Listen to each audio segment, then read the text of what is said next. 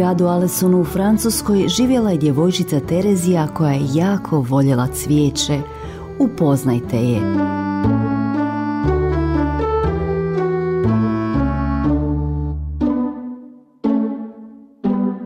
Cvijeće je donosila nebeskoj majci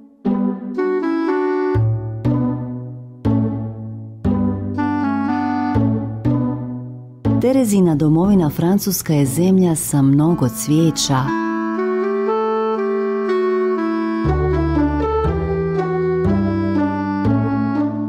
U gradu Alessonu radio je Urar Lujo.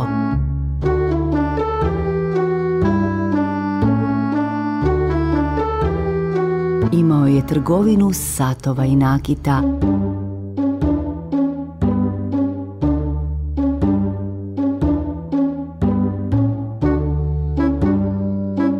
Njegova supruga Celija vodila je proizvodnju čipaka, poznate čipke iz Alensona.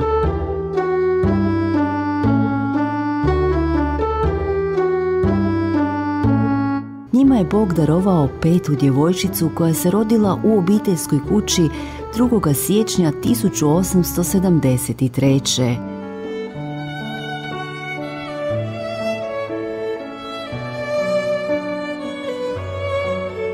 Nakon dva dana bilo joj je krštenje u crkvi.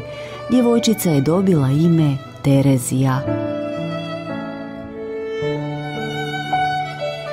Uskoro je nastala velika žalost jer se dijete razbolilo, no dobri bog i liječnik povratili su zdravlje Tereziji.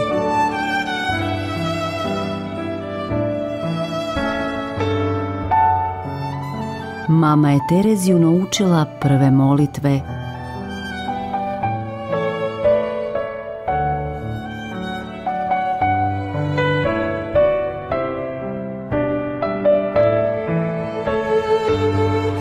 sa tatom je prohodala.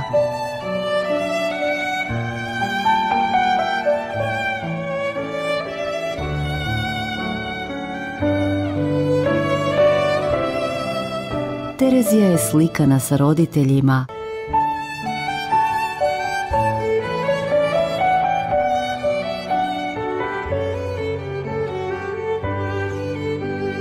Terezija je bila mamina ljubimica.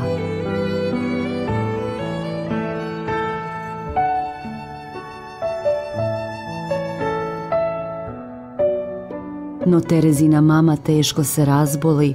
Bolesnoj mami mala Terezija je dala poljubac. Uskoro je mama preminula. Cijela obitelj Marten seli se u susjedni grad Lizije.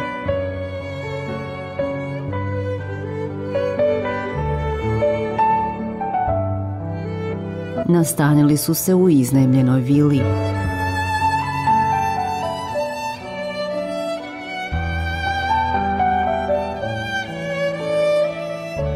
U obitelji je bila svakodnevna molitva.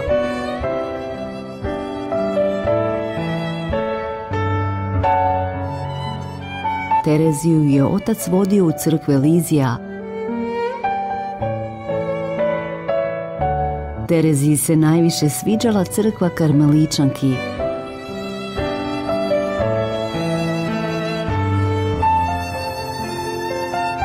Dok se otac odmarao pecanjem riba, mala je Terezija na koljenima slavila Boga.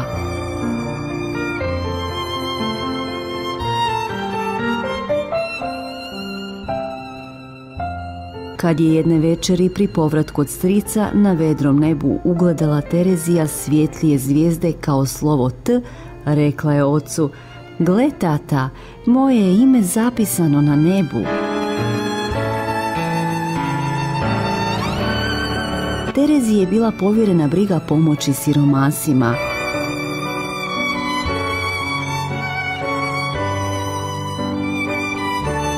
Najveću radost je mala Terezija doživjela na blagdan tijelova. Ruženim laticama pozdravljala je Isusa.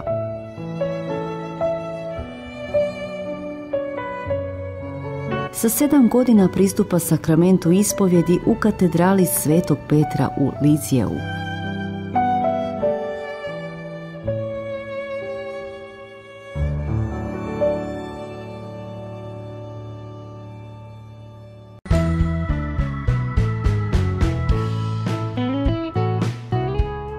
Sa osam godina polazi školu u opatiji Benediktinki blizu Lizija, biva pohvaljena za znanje i vladanje.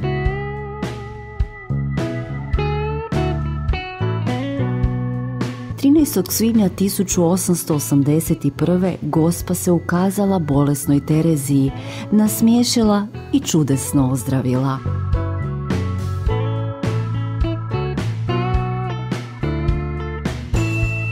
Dobro pripremljena, radosno u kapeli se stara Benediktinki primila prvu svetu pričest.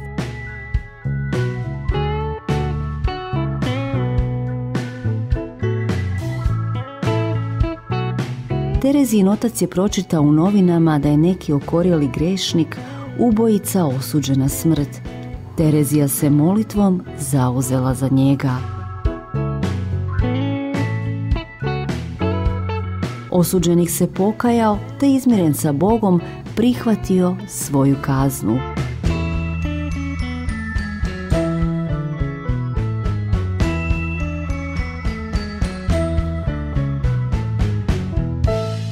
U kapeli se stara Benediktinki primila je sakrament potvrde 14. lipnja 1884. Izmolila si je dar jakosti i pobožnosti. Na večer na blagdan duhova 1887. dok je Terezija tek navršila 14 godina, dobila je od oca pristanak da uđe u Karmel.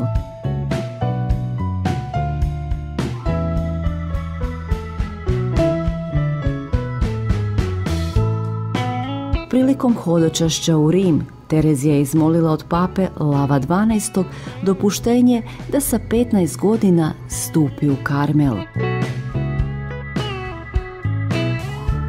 Najprije Terezija u Karmel primljena kao pripravnica i vršila povjerene joj službe.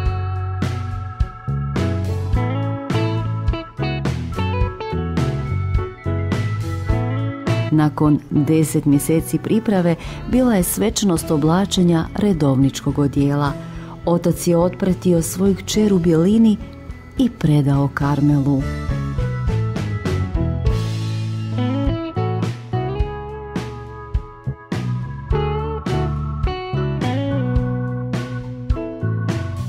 Terezija je dobila redovničko odjelo i ime Terezija od malog Isusa i svetog lica. Terezija je sa ljubavlju obavljala povjerene joj poslove.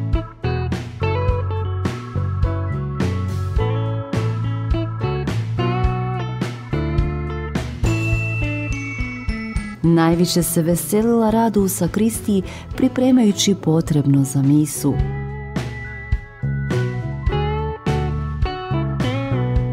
Pomagala i služila starije sestre.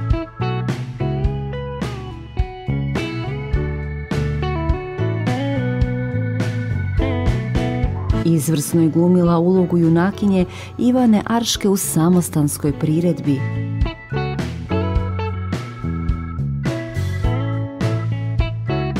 Tereziju napose vesele križ, krunica i ljiljani.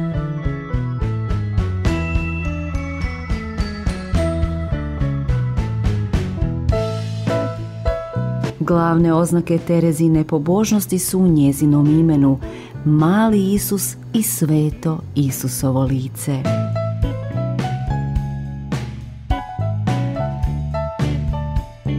Terezija je potaknuta napisala svoje uspomene koje su tiskane kao povijest jedne duše.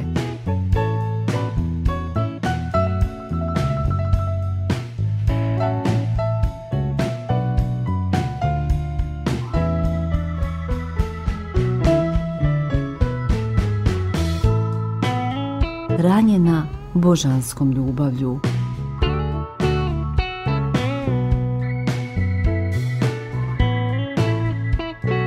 U mjesecu ožujku 1897. teško se razbolila.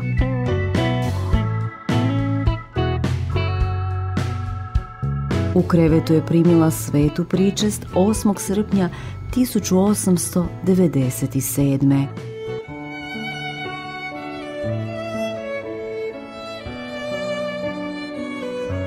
Cijeloga dana 30. rujna jako je trpjela, no neki slatki osmijeh lebdio je na njezinim usnama, a pogled je bio upravljen u nebo. Navečer, upre pogledu raspetoga, čvrsto ga je držala u rukama i prošapta. Pa dobro, idemo, Bože moj, ja te ljubim.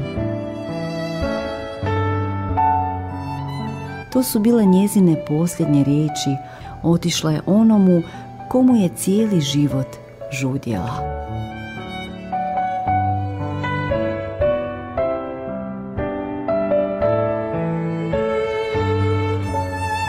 Terezino je obećanje. Ako me Bog usliša, ja ću provoditi svoje nebo čineći dobro na zemlji. Kao djevojčica je Terezija darivala Isusu ruže u svečanosti tjelovske procesije.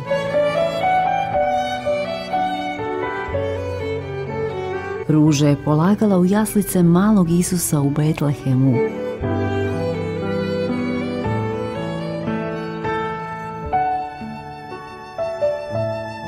donosila je ruže Isusu u Nazaret. Kao redovnica časteći Isusove rane na križu stavljala mu ružine latice.